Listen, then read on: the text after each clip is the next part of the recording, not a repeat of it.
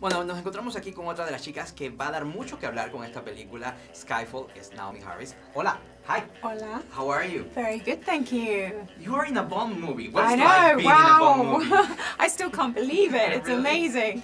It's an amazing roller coaster. It's, it's amazing to be part of something which people are so passionate about, have such high expectations for, and really love. I've never been part of a movie like this. It's ex- extraordinary. How was the process when they chose you and they said, hey, you want to be in a Bond movie? How, how was it like? Well, I, I first of all got asked to come in and audition, and I really thought, really, me? I just, I didn't, I didn't get it. Like as a Bond girl, seriously. So I thought that they, they were just because I know that they, they audition all over the world and they audition thousands of people, and so I thought I was just part of one that they were just kind of, you know, throwing into the mix. I didn't think there was a real chance, and then it wasn't until I got to the third audition, and then you know I met Sam, and he was like, yeah, you know, it's down between you and two others. And I was like, really? This is amazing. So it was an extraordinary process. It was a, a real amazing roller coaster of a journey. and also hard work.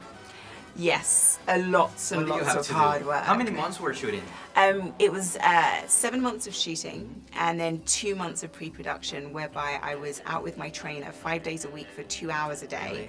learning how to like run and um, jump and like circuit train and do yoga and fire guns and stunt driving and yeah, there were lots of skills that I picked up.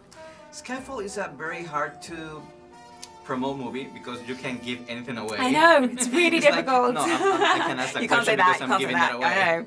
Yeah. What is what is Skyfall about?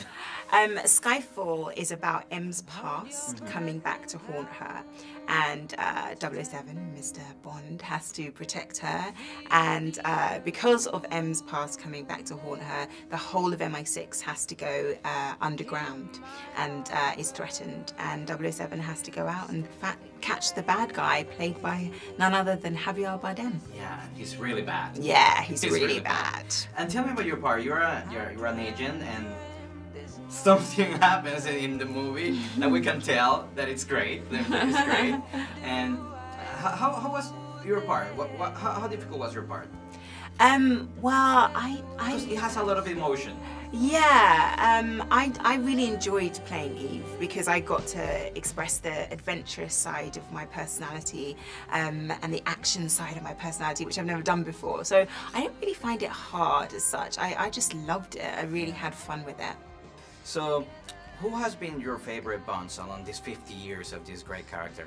Definitely Daniel. And I'm not just saying that because I, I, I worked with him and he's an amazing guy, but genuinely I do think he is the best Bond because I love the fact he's he's more of a human Bond, which makes him more modern. You know, he's got a kind of fragility about him. There's the potential that he could be hurt. There's the potential that he could fall in love. And he didn't really feel that with any of the other Bonds. And so I think it makes it even more exciting. It's a roller coaster. That's what I what I liked about this movie.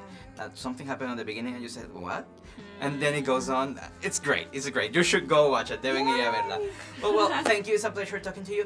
And you know something great about this movie that we get to to learn James Bond uh, second second name, Yeah. and also we get to know your last name.